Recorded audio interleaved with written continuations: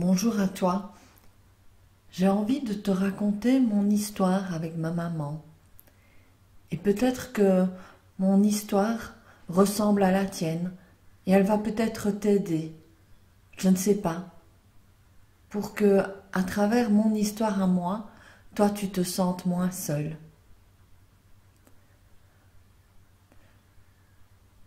Quand j'étais toute petite fille, j'avais une maman merveilleuse, formidable, incroyable. Elle chantait à tue-tête le matin dans la salle de bain et elle passait des heures à se maquiller, se coiffer, se parfumer. Je trouvais que j'avais une merveilleuse maman. Pourtant, parfois, elle dormait dans le divan. Oui. Et le matin,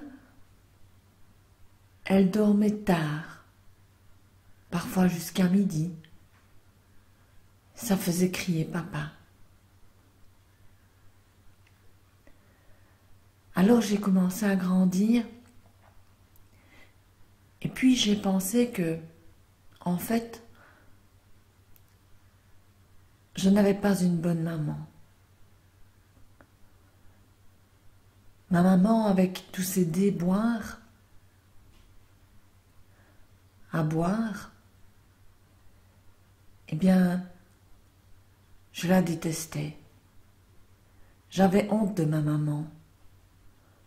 Et j'avais honte de moi aussi, d'être sa fille. Je savais que je l'aimais et en même temps, je ne pouvais pas. Je ne savais pas comment. Parce que quand on grandit, on se pose ces questions-là. Alors j'ai rejeté ma maman. Je l'ai rejetée pour, euh, pour grandir à ma façon. Pour ne pas grandir à travers ses blessures à elle. C'était trop dur pour moi de la voir pleurer ou s'abîmer. Non, moi, je voulais grandir comme un soleil. Je voulais briller et ne jamais avoir mal. Alors je voulais l'oublier, ma maman.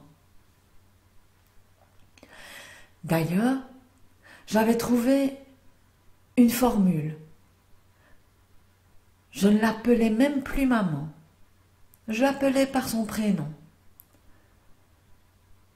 Comme ça, ça me détachait d'elle et ça me permettait de grandir, de devenir une jeune femme à ma manière.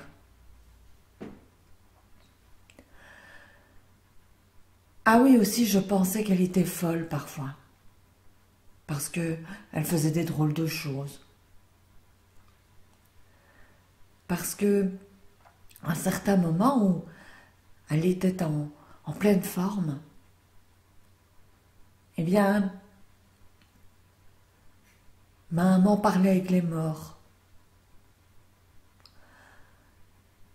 Ou ma maman racontait l'avenir des, des amis qui, autour de la table de la cuisine, chez mes parents, restaient des heures à parler de leur malheur.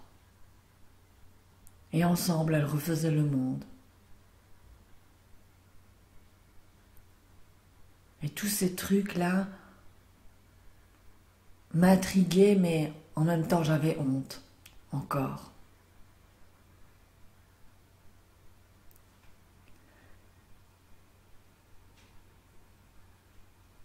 J'avais des relations amoureuses très compliquées. Un peu comme elle finalement.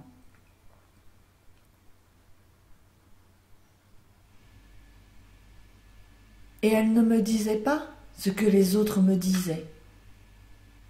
Ah oui, parce que les gens autour de moi, dans ma famille, auraient tant voulu que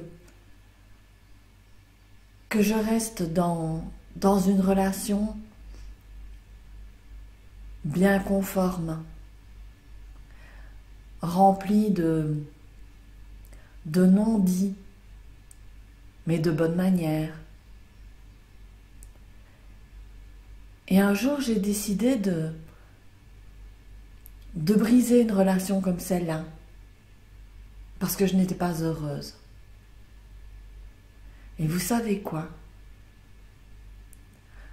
Alors qu'elle était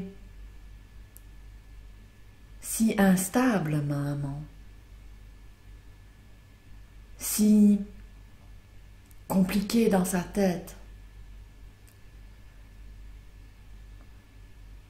Le jour où j'ai annoncé que je quittais cette relation, définitivement, elle est la seule personne au monde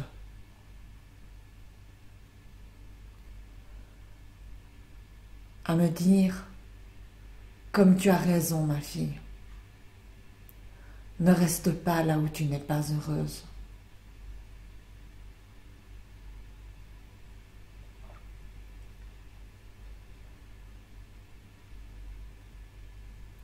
Alors tu vois, parfois on a une drôle de maman.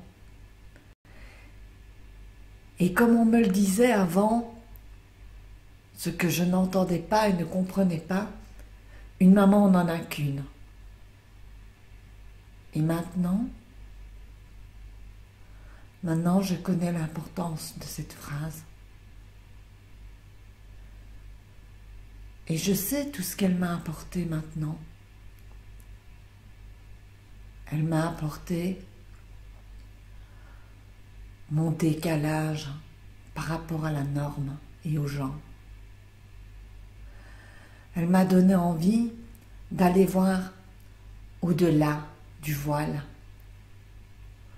au-delà des conventions, et de découvrir des personnes extraordinaires. Elle m'a appris que le monde, ce n'est pas ce qu'il y a dans nos quatre murs, que oui, il y a probablement une vie après la mort.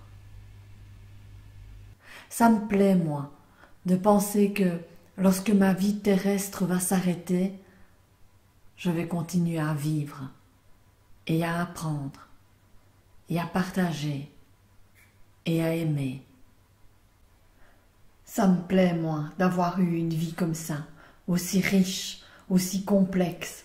Et ça me plaît, moi, d'avoir eu une maman comme toi. Je t'aime.